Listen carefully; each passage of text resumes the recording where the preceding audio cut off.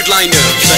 कान्तिपुरको नियमित कार्यक्रम द हेडलाइनर्समा यहाँलाई स्वागत छ। मेरो नाम हो अनिल। समसामयिक विषयमा छलफल गर्ने यो कार्यक्रम तपाईँ साताको प्रत्येक दिन ठिकै समयमा सुन्दै आउनु भएको छ।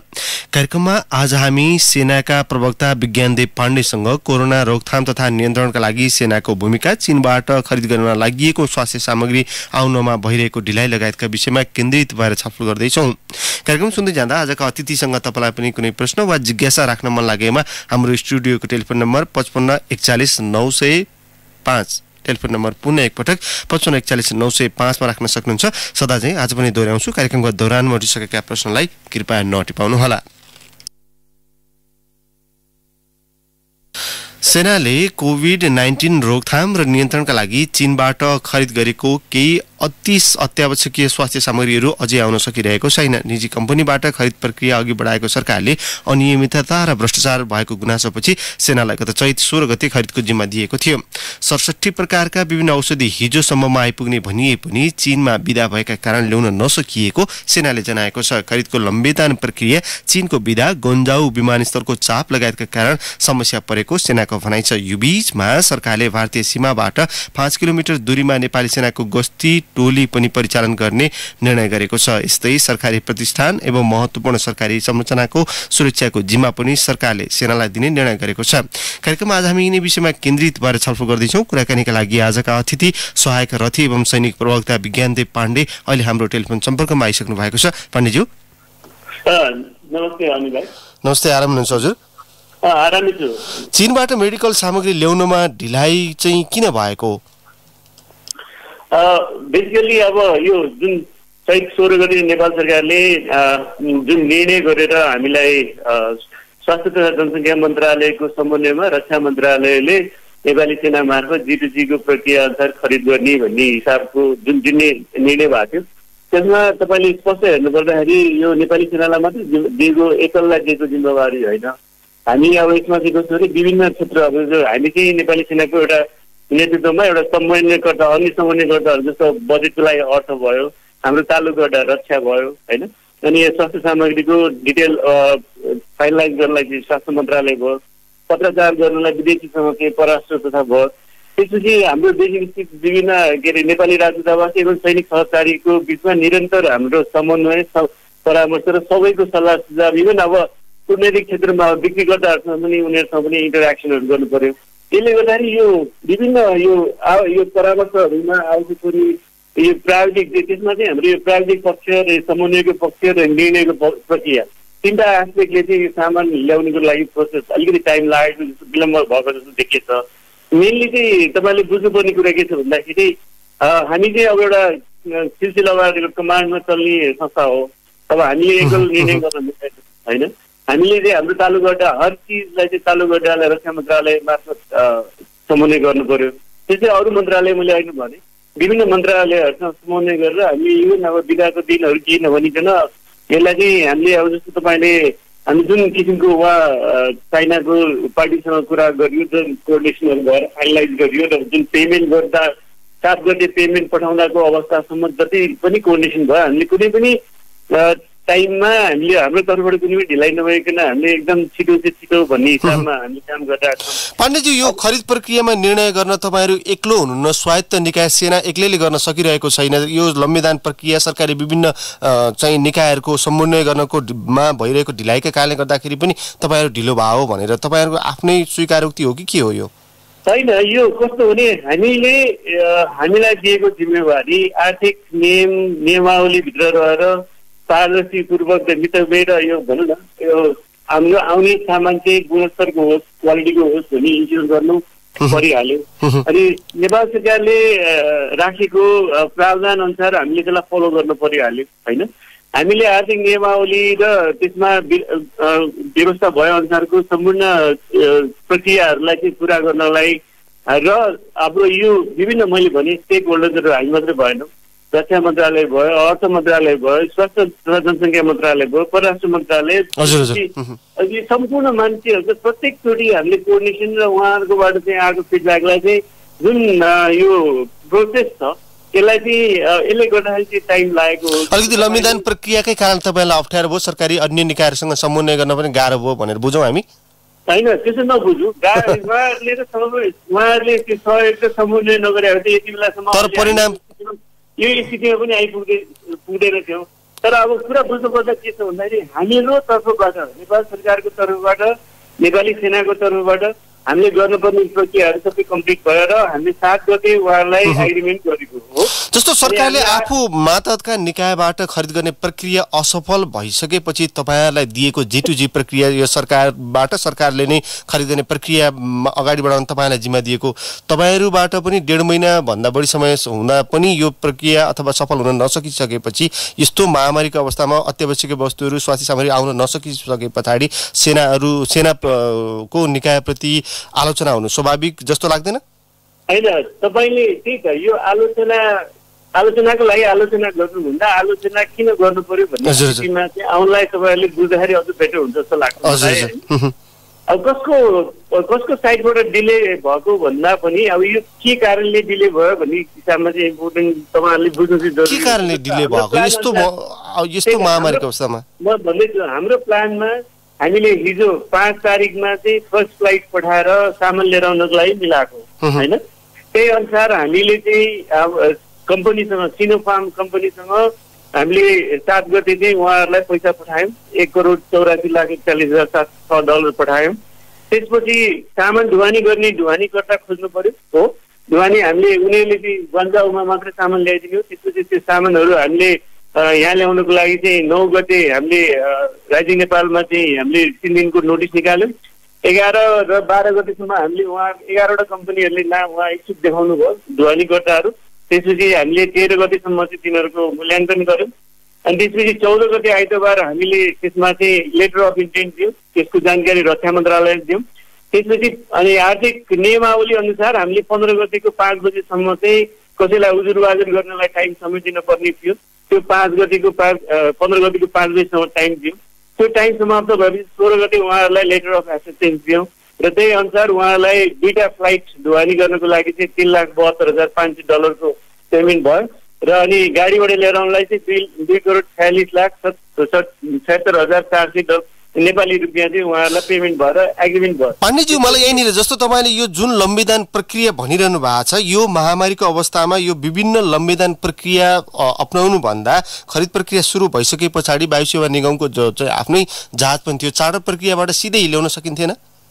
होइन हामीले आर्थिक नियम अनुसार त फलो गर्नै पर्छ त्यो चाहिँ यस्तो हो।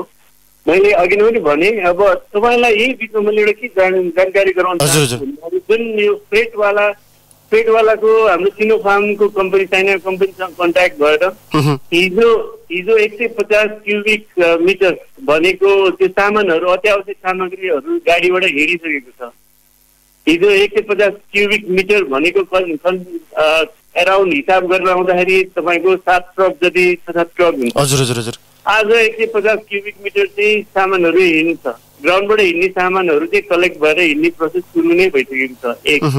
अब हामीलाई कन्सर्न भनेको अहिले उसमा यो चाइनामा चाहिँ एक तारिकदेखि पाँच तारिकसम्म हिजोसम्म चाहिँ उनीहरूको सरकारी बिदा भएको हुनाले हामीले कुनै पनि प्रोसेस चाल्न सकिरहेको थिएनौँ होइन?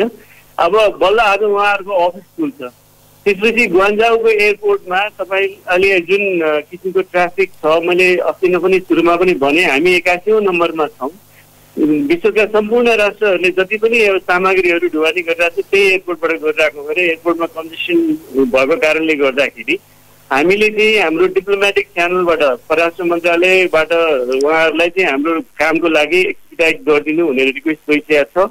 हाम्रो नेपाली सेनाको तर्फबाट पनि हामीले सैनिक सहकारी मार्फत सम्बन्धितलाई चाहिँ रिक्वेस्ट गरिसकेको छौँ। अब तपाईँले उहाँहरूको चाइनाको नयाँ प्रोटोकलको रुल अनुसार चाहिँ एभ्री डे एउटा एउटा न एउटा नयाँ प्रोटोकलहरू चेन्ज भइरहेको छ। त्यसमा रिसेन्टली दस अप्रिलबाट चाहिँ उहाँहरूले एउटा लागू गर्नुभएको नियम के छ भने कस्टम क्लियर गर्नको लागि। चाइनाबाट जति पनि मेडिकलका सामानहरू विदेशमा निर्यात हुन्छ त्यो सामानहरू कस्टम क्लियर गर्नलाई चाहिँ लेभलिङ र उहाँहरूले त्यो क्लियरेन्सको सर्टिफिकेट नदिकन कसैलाई पनि यो जान नपाउने- जस्तो पाण्डेज्यू तपाईँले पनि भन्नुभयो नेपाल खरिद गर्ने मुलुकमा एकासी नम्बरमा छ भनेर। जस्तो कोरोना महामारी विरुद्ध लड्नलाई चीनले नेपाललाई उच्च प्राथमिकतामा राखेर सहयोग गरेको छु गरे भनेर त्यो चाहिँ आश्वासन दिइरहँदाखेरि अहिले जुन व्यवहार त त्यो पुष्टि हुन सकिरहेको छैन। अब विधामा पनि हजुर। मैले बुझेँ तपाईँको क्वेसन। जरुरी छ भने यदि हामीलाई प्रायोरिटी नदिँदो हो त हजुर। हामी अहिले एकासी नम्बरको भए त अझै हामीले एक महिना दुई महिना अझै वेट गर्नुपर्ने अवस्था हुन्थ्यो होइन? उहाँहरूले चाहिँ हामीले सुरुमा दिएको तिन सय अन्ठानब्बेवटा लिस्टकोमा चाहिँ तत्काललाई हामीलाई क्रिटिकल आइटमहरू जे छ त्यो फाइनलाइज गरेर उहाँले चाहिँ हामीलाई ल हामी सिक्सटी सेभेनवटा मात्रै सडसठीवटा सामान मात्रै तत्काल तपाईँलाई उपलब्ध गराउन सक्छौँ। यसको लागि चाहिँ पहल गर्नुहोस् भने भएर उहाँले चाहिँ नै प्रायोरिटी दिएर नै अहिलेको अवस्थामा चाहिँ हामीले यो स्थितिमा हजुर। अलिक धेरै प्रश्नहरू बाँकी नै छन्। अलिकति संक्षिप्त जवाफको पनि अपेक्षा गर्छु तपाईँसँग। जस्तो अब तपाईँले चीनबाट सडसठी प्रकारका औषधिहरू ल्याउने तयारीमा हुनुहुन्छ। दुई अर्ब पच्चिस करोड रुपियाँ बराबरको सिनोफार्मसँग तपाईँले लगायत अब समग्र प्रक्रिया अगाडि बढाउँदै हुनुहुन्छ तपाईँले। कहिलेसम्म आइपुग्छ यो सबै औषधिहरू? अब मैले त्यही त्यही विषयमा आउँदैछु म। हजुर। मैले सिम्पली भन्नुपर्दाखेरि आजबाट बल्ल उहाँहरूको कस्टम खुल्यो होइन? कस्टम प्रक्रियामा चाहिँ उहाँहरूले पहिल्यै भनिरहनु भएको छ यो जुन क्लियरेन्सको कुरा मैले गरेँ त्यसलाई चाहिँ मिनिमम बहत्तर घन्टा भन्दा बढी चाहिँ डिले हुनसक्छ भनेर उहाँहरूले जानकारी गराइदिनु भएको छ। अब हाम्रो आजबाट चाहिँ हाम्रो फ्लेटवाला फ्लेट र सिरो फार्मको कम कम भइसकेपछि हामीले कस्टममा चाहिँ सामान आजबाट हामीले अब जस्तो हामीभन्दा अगाडि पनि कस्टममा बसिरहेका मान्छेहरू छन् होइन? अब हामीले चाहिँ तपाईँले अहिले भन्नुभयो चाइनामा हामीले चाहिँ अब हाम्रोलाई अलिकति एक्सपिडाइट गरिदिनु हुने रिक्वेस्टलाई चाहिँ उहाँहरूले अब नेपाल सरकारको रिक्वेस्ट र नेपाली सेनाको रिक्वेस्टलाई चाहिँ कति कस्टम क्लियर गर्नको लागि कति एक्सपिडाइट गरिदिनुहुन्छ भन्ने कुरामा अब अहिलेको सामान कहिले फ्लाइटको लागि चाहिँ फ्लाइटको लागि कहिले आउँछ भन्ने कुरा भयो। अब अहिले तपाईँले यही विकेन्ड हेर्नु भने आज बुधबार भयो। बुधबार बिहिबार शुक्रबार तिन दिन भयो। काम फेरि शनिबार र आइतबार बिचमा उहाँहरूको चाहिँ छुट्टी भयो। होइन? बिचमा फेरि दुई दिन काम गर्न सक्नुहुन्न। भनेपछि यो हाम्रो टार्गेट के छ भने हामीले हाम्रो तर्फमा हाम्रो रिसोर्सेसमा भएको सम्पूर्ण बल शक्ति हाम्रो कुट कुटनीतिक अ, भनौँ पहल यो तिन दिनभित्रमा चाहिँ हामीले बढीभन्दा बढी छिटो हाम्रो सामान चाहिँ क्लियर गरिदिनुहोस्। अझ यसलाई चाहिँ भन्दाखेरि त्यहाँ बुझ्दाखेरि के छ भने ग्रिन च्यानल जस्तो हाम्रो यहाँ रेड च्यानल र यो चाहिँ पहिलो चरणमा आउने चाहिँ तिन दिनभित्र आइसक्छ भन्न खोज्नु भएको तपाईँले? होइन होइन? हामीले जम्मा फ्लाइटबाट फ्लाइटबाट ल्याउने जम्मा दुईटा फ्लाइट हो त्यो दुईटा फ्लाइटमा हामीले चाहिँ पहिलो फ्लाइटमा अठार पोइन्ट आठ आठ त्रिचालिस टन छ र दोस्रो फ्लाइटमा चाहिँ अठाइस पोइन्ट सात सात शून्य गरेर टोटल तपाईँको सत्ति सैँतिस टन चाहिँ सामान हुन्छ। त्यसमा चाहिँ अत्यावश्यक सामानहरू छ। यहाँले बुझ्नुपर्ने कुरा के छ भने त्यो अत्यावश्यक सामानहरू मध्येमा पिपीहरू छ। यो चाहिँ ग्राउन्डबाट पनि हिँडिसकेको अवस्था छ। हजुर हजुर। जस्तो अब भारतबाट पनि तपाईँले मेडिकल सामग्रीहरू खरिद गर्ने प्रक्रिया अघि बढाउनु भएको छ क्यारे। त्यो चाहिँ कहिलेसम्म आइसक्छ अथवा त्यतातर्फ चाहिँ के भइरहेछ? भारतको लागि पनि मैले भन्नुपर्दा विभिन्न 53 प्रकारका औषधिहरू ल्याउने- त्रिपन्न प्रकारका औषधिहरू हामीले लिने उहाँ थियो। भारतको बिपिपिआई भन्ने सरकारी यो कम्पनी हो उहाँले चाहिँ अहिले हामीले चाहिँ कस्तो छ भने बिपिपिआईले चाहिँ त्रिपन्नवटा औषधि हाम्रो अ, दिल्ली स्थित राजदूतावासमा चाहिँ ल्याएर जम्मा गरिदिन्छन्। त्यसपछि अनि हामीले पेमेन्ट गर्ने भन्ने कुरा थियो कुरा अहिले चलिरहेको छ। गत चौध अब उहाँको पनि बिपिपिआई कम्पनीले चाहिँ उहाँ निर्यातको अ, स्वीकृति नभएको हुनाले उहाँले सिधै हामीलाई निर्यात गर्न नसक्ने र उहाँले सिधै पेमेन्ट पनि लिन नमिल्ने भएको हुनाले हामीले चाहिँ हाम्रो परराष्ट्र मन्त्रालयमा गत पन्ध्र गते हाम्रो दिल्ली स्थित राजदूतावासमा चाहिँ यो एक करोड पचास लाख आइसी चाहिँ यो उहाँहरूलाई पेमेन्ट गराएर सम्बन्धित अब हामीले चाहिँ कसरी उहाँले एग्रिमेन्ट गर्न नमिल्ने भएर मिनिस्टर अफ एक्सटर्नल अफेयर्ससँग चाहिँ एउटा एग्रिमेन्ट जस्तो गरेर उहाँले चाहिँ औषधि चाहिँ कलेक्ट गरेर दिल्ली स्थित राजदूतावासमा राख्ने र त्यो सामानहरू ल्याउनुको लागि पनि हिजोबाट हामीले फ्रेटवालाहरू ढुवानीकर्ताहरूसँग चाहिँ अ, छलफल भइसकेको छ। यो मैले अघि पनि भने अलिकति चित्तबुझ जवाब आइरहेको छैन पाण्डेज्यू जस्तो तपाईँले यो खरिद प्रक्रिया अगाडि बढाइसके पछाडि हाम्रो हाम्रो आफ्नै अब बाइसवा निगमको जहाजबाट सिधै चार्टर फ्लाइट गर्न सकिने अवस्था नभएर हो कि किन हो? होइन यो चार्टर फ्लाइट भनेको नेपाली सेना के अरे नेपालको हाम्रो वाइट बडी नै जाने हो। हजुर हजुर। वाइट बडी नै जान्छ। वाइट बडीले अझ हामीलाई सजिलो के भएको छ भन्दाखेरि हाम्रो फ्लाइटहरूमा यो सिटमा पनि उहाँहरूले सामान ढुवानी गरेर ल्याइदिने भन् भनेको हुनाले मात्रै अहिले सैँतिस टन ल्याउन सक्ने हाम्रो योजना भएको। नभए त्यो चाहिँ गर्न सकिँदैन। नभए तपाईँले हेर्नुभयो भने एउटा फ्लाइटमा उहाँले आठ नौ टन भन्दा बोक्न बोक्दैन। तर हामीहरू यो जुन नेपाली भनौँ न आम जनताहरूकै स्वास्थ्यसँग रिलेटेड कुरा भएको हुनाले र सरकारले नै यो उसमा प्रायोरिटी दिएको हुनाले नै उहाँहरूले चाहिँ ल हाम्रो सिटमा पनि लिएर आउन मिल्छ भन्ने हिसाबमा गरेर मात्रै हामी यो सैँतिस टनको प्लान गरेको हो अनिलजी। हजुर कहिलेसम्ममा आइपुग्छ अब सबै स्वास्थ्य सामग्रीहरू अथवा यो महामारी विरुद्ध जति पनि जति छिटो छिटो अब अहिले यो पिसिआर चाहिँ किटहरू चाहिँ पर्याप्त छैन आरडिटी किटहरू पनि पर्याप्त छैन भनेर जुन गुनासो आइरहेछ। तपाईँले कहिलेसम्म यो उपलब्ध गराइसक्नुहुन्छ ग्राउन्डबाट हिजो हिँडेको सामानहरू चाहिँ यहाँ आउन ठ्याक्कै भनौँ सात दिनमा तातो पानी आउने भन्ने हाम्रो हिसाबको हो। सात दिनमा सात दिनको तातो पानी त्यसपछि यो ग्राउन्डबाट कुरा गरिरहेको छ। सात दिनको ग्राउन्ड तातो पानी त्यसपछि दुई दिन क्लियरेन्स गर्न लाग्दाखेरि सातदेखि नौ दिनको बिचमा चाहिँ हाम्रो डिपोमा आउँछ आएपछि हजुर त्यो सामानहरू आएपछि यो सिसिएमसी जुन COVID nineteen crisis management of सेन्टरले छ जो हजुर, जो हजुर। उहुँ। उहाँहरूले जुन प्लान गरेको छ उहाँहरूको प्लान मुताबिक चाहिँ डिस्ट्रिब्युट हुने योजना छ भनेको अब यो परीक्षणको क्रमसम्म पुग्न कम्तीमा दुई हप्ता अझै पनि लाग्छ यो? दुई हप्ता नलाग्ला भनौँ दुई हप्ता नलाग्ला भनौँ किन भन्दाखेरि मेरो हाम्रो हिसाबमा चाहिँ हामीले यो प्लेनबाट ल्याउने चिजहरू जुन छ त्यसलाई चाहिँ बढीभन्दा बढी प्राथमिकता दिनको लागि हामीले रिक्वेस्ट गरिरहेका छौँ। अब आज बल्ल अफिस खुल्यो। आज उहाँहरूको रेस्पोन्स कस्तो आउँछ? त्यसपछि बल्ल हामीले मैले एक्ज्याक्टली ल हाम्रो फ्लाइट चाहिँ फलाना टाइममा हुन्छ भनेर भन्न सक्ने अवस्था छ होइन। नर्मली उहाँहरूले के भनेको छ भने इन्सपेक्सनको लागि यो कस्टम इन्सपेक्सनको लागि मिनिमम भनौँ न बहत्तर घन्टा तिनदेखि पाँच दिनसम्म चाहिँ उहाँहरूको लाग्न सक्छ भनेर उहाँले जानकारी अब पाँच दिनसम्म चाहिँ कति छोटो गराउन सक्नुहुन्छ उहाँले कति छोटो गराइदिनुहुन्छ भन्ने हाम्रो अनुरोधलाई मानेर छोटो कति गराइदिनुहुन्छ त्यसपछि हाम्रो फ्लाइट चाहिँ अब पैसा पेमेन्ट भइसकेको छ। बुक भइसकेको छ। जहाज हाम्रो वाइट बडी जानको लागि रेडी भइसकेको छ। खालि हामीलाई डेट मात्रै चाहिएको। हजुर हजुर। जस्तो कोभिड नाइन्टिन विरुद्ध तपाईँले सुरुमा आफैले पनि अब अहिले यो महामारी अथवा जोखिम त अझै झन्झन बढ्दै गइरहेको छ। सुरुमा छुट्टै कोर टिम पनि तपाईँले बनाउनु भएको थियो। जङ्गी अड्डासँग पनि सेना मार्फतमा चार सयको हाराहारीमा चिकित्सक र पाँच हजारभन्दा बढी स्वास्थ्य कर्मीहरू छन्। अहिले ती ती स्वास्थ्य कर्मीहरूलाई चाहिँ तपाईँले कसरी परिचालन गर्नुभएको छ मुलुकभर? अब अहिलेको अवस्थामा अहिले मैले के भनौँ भन्दाखेरि जुन सोह्र गतेकै चैत सोह्र गतेकै निर्णय अनुसार। COVID nineteen crisis management center of गठन भयो। त्यसमा चाहिँ चारवटा क्लस्टर छ होइन? त्यो क्लस्टर मध्येमा चाहिँ एउटा स्वास्थ्य सेवा तथा उपचार हुने मेडिकल अफ भयो। अनि औषधि उपकरण तथा स्वास्थ्य सामग्री आपूर्ति सेवा हुने लजिस्टिक अफ हो। त्यो शान्ति सुरक्षा अनुगमन तथा नियन्त्रणकारी हुने सिक्युरिटी अफ छ अनि सूचना तथा प्रविधि कार्य मिडिया एन्ड आइटी अफ हुने चारवटा क्लस्टर छ। त्यो क्लस्टरमा चाहिँ प्रधानमन्त्री कार्यालयको सचिवज्यू चाहिँ संयोजक हुनुहुन्छ। अनि हाम्रो नेपाली सेनाको तर्फबाट चाहिँ हाम्रो अहिले समारोही दर्ता प्रतिनिधि हुनुहुन्छ होइन? अनि त्यसपछि स्वास्थ्य तथा जनसङ्ख्या मन्त्रालयको एघारौँ तहका अधिकृत हुनुहुन्छ। यहाँ उहाँहरूको सम्बन्धीमा यो चारवटा क्लस्टरले विभिन्न सेक्टरमा चाहिँ काम गरिरहेको छ। र उहाँहरूकै योजनामा जस्तो तपाईँले गएको चैतमा तेइस चौबिस गते हामी जुन धनगढीमा स्वाब कलेक्सन गऱ्यौँ। त्यसपछि त्यसको लगत्तै विभिन्न जति पनि स्वाब कलेक्सनहरू भएको छ र रिसेन्टली अस्ति बाह्र तेह्र चौध गतेकोमा चाहिँ हामीले दुई नम्बर प्रदेशको आठवटा जिल्लाहरूमा कलेक्ट गऱ्यौँ। र रिसेन्टली त्योभन्दा अगाडि हामीले उदयपुरको जिल्ला भुल्केमा चाहिँ त्यो भनौँ न त्यसमा पनि स्वाब कलेक्सन गर्नलाई चाहिँ नेपाली सेनाको टोलीहरू गएको थियो। त्यसमा चाहिँ अहिले कलेक्टिभ रूपमा नेपाली सेनामा चाहिँ होइन नेपाली सेना त्यसपछि नेपाल प्रहरी सशस्त्र प्रहरी र अनि हाम्रो स्वास्थ्य जनसङ्ख्या मन्त्रालयका स्वास्थ्य कर्मीहरूको टिमहरू कलेक्टिभ रूपमा चाहिँ उहाँहरू प्लान गरेर मेडिकल एन्ड अफले चाहिँ स्वाबले उनीहरूले कन्टिन्युस ट्रेसिङ गर्ने होइन? ट्रे- ट्र्याकिङ गर्ने ट्रेसिङ गर्ने र टेस्टिङ गर्ने काम उहाँहरूले गरिरहनु भएको छ।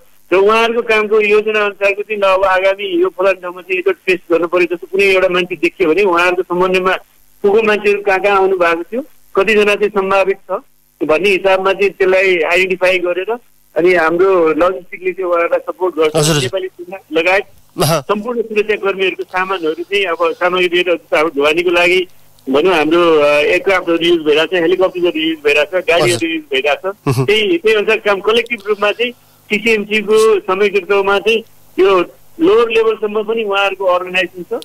संरचना बनिसकेको छ। त्यही हिसाबमा अहिले काम भइरहेको छ। पण्डितजी तपाईँलाई केही बेर कार्यक्रममा रोक्नुपर्ने बेला भएको छ? अब हामी ब्रेकतर्फ जानेछौँ। ब्रेकपछि केही श्रोताका प्रश्नसहित हामी थप छलफल गर्नेछौँ। कृपया टेलिफोन सम्पर्कमा छोटो समयको लागि बसिदिनु हुन। म यहाँलाई आग्रह गर्दछु। कार्यक्रममा अहिलेलाई छोटो ब्रेक। Headliners, the headliners.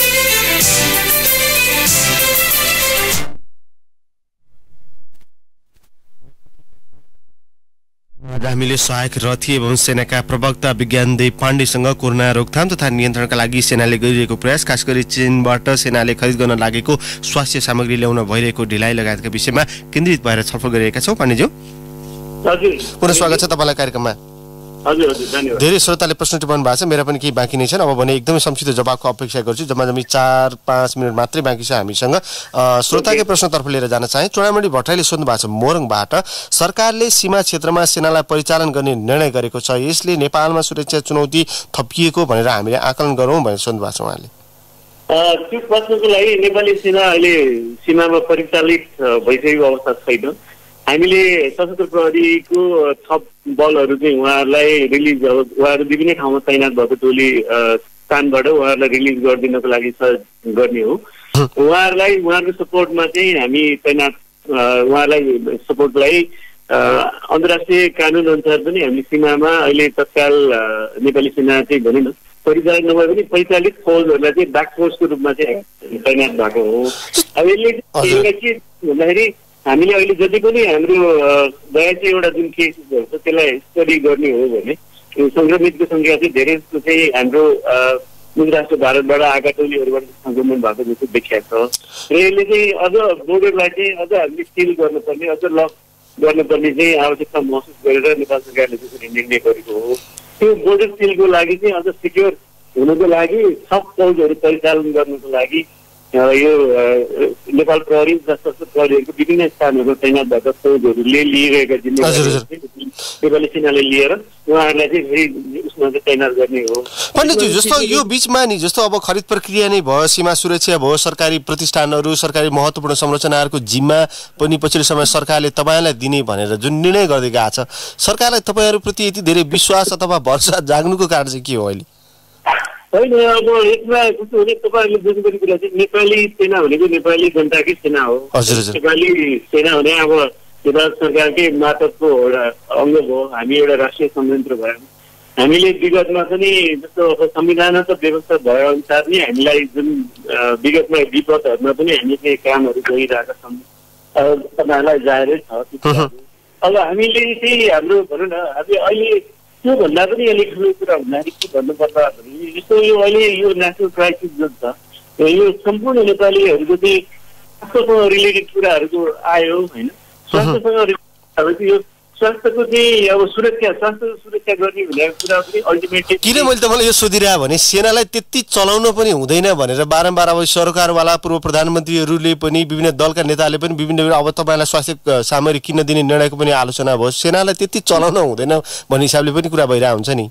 होइन मेन अब हामीले त्यही त त्यसमा के बुझ्नु पर्यो भने नेपाली सेना को हो त। कसको हो। भने हामी नेपाली सेना भने नेपाल सरकारकै सेना हो नेपाली जनताकै सेना हो। हामी जनताकै करबाटै चलेको संस्था हो होइन? भनेपछि हामीले जनतालाई पर्दाखेरि हामीलाई संविधान त नेपाल सरकारले चलाउँछ हामीलाई युज गर्छ। संविधान भनेपछि हामीले हाम्रो जिम्मेवारी त हामीलाई दिएको जिम्मेवारी हो त हर टाइममा जुनसुकै व्यवस्था पनि हामीले गर्ने गर्नै पर्छ त्यसमा हामीलाई कुनै हामी गर्न प्रतिबद्ध पनि छौँ। त्यसमा हाम्रो हाम्रो भनौँ न हाम्रो नेतृत्वको स्पष्ट कार्यदिशा हाम्रो निर्देशन छ।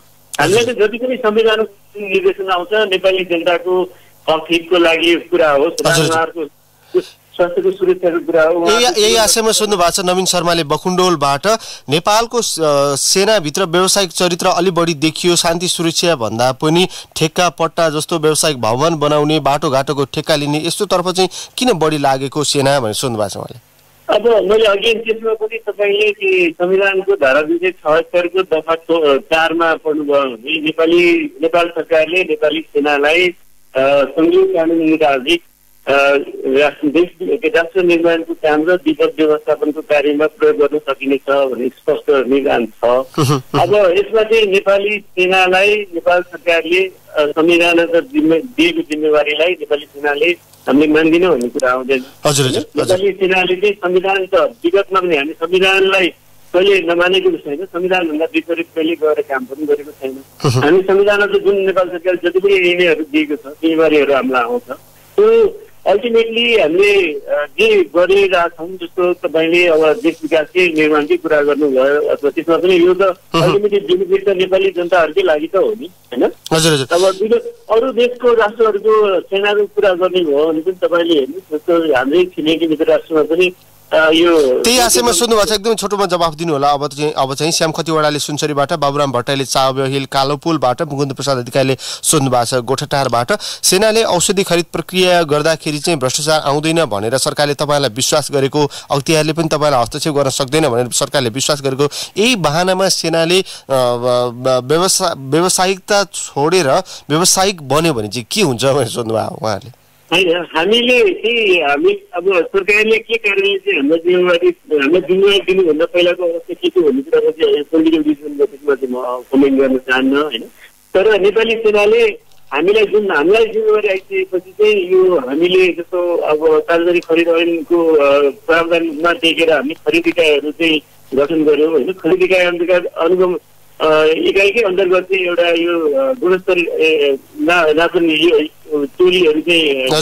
त्यसमा चाहिँ विभिन्न स्टेक होल्डर्सहरू जस्तो स्वास्थ्य सेवा जनसङ्ख्या मन्त्रालयका प्रतिनिधि स्वास्थ्य मन्त्रालयका प्रतिनिधि स्वास्थ्य सेवा विभागका प्रतिनिधि लगायतका सम्पूर्ण व्यक्तिहरू छन् अब यहाँ यसमा चाहिँ कसरी प्रत्येक क्रियाकलापहरूमा चाहिँ पारदर्शी होस् र हामीले आर्थिक नियमलाई चाहिँ अ, टेकेरै कामहरू गरौँ निर्णयहरू गरौँ भन्ने हिसाबमा चाहिँ त्यसलाई हाम्रो संविधान त भन्छ जस्तो अहिले बुझ्नु पर्दाखेरि चाहिँ हाम्रो नेतृत्वको अहिले जस्तो हामीले इन्टरनली नै हामीले यो कस्तो भने हामी अहिले तिनीहरूको विगत केही वर्षदेखि हेर्ने हो भने तिनीहरूले पारदर्शिता यो मिडिया र मोर र नेटको वस्तुगत अवधारणा अनुसार हामी सबै खरिद प्रक्रियाहरू र आर्थिकलाई चाहिँ आर्थिक प्रक्रियाहरूलाई चाहिँ पारदर्शी बनाइरहेको अवस्था छ।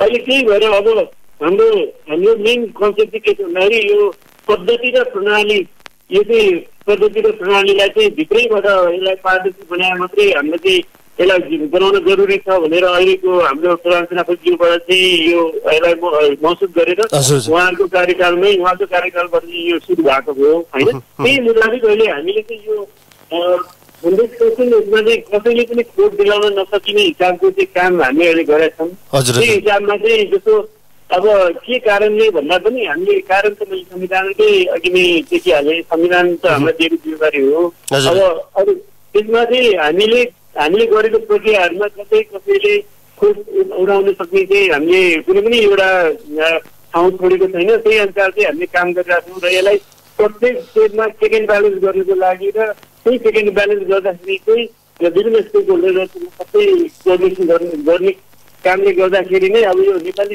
हजुर भनौँ न हामी मात्रै होइन कलेक्टिभ रूपमा काम भइरहेको छ र कलेक्टिभ रूपमा चेकब्याक गर्ने कामहरू पनि भइरहेको छ भन्ने त्यो तरिकाले बुझ्दाखेरि चाहिँ क्लियर होला हजुर पाण्डेज्यू कार्यक्रममा समय दिनुभयो आफ्नो विचार राखिदिनु भयो यहाँलाई धेरै धेरै धन्यवाद।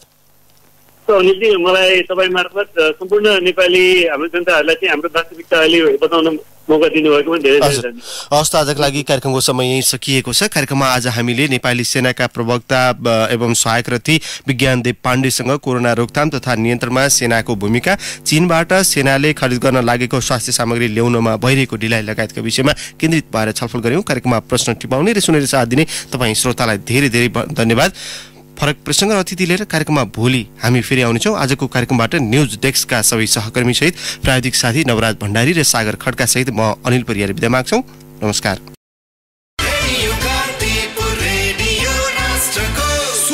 मनोरञ्जनको सम्वाहक रेडियो राष्ट्रको रेडियो कान्तिपुर।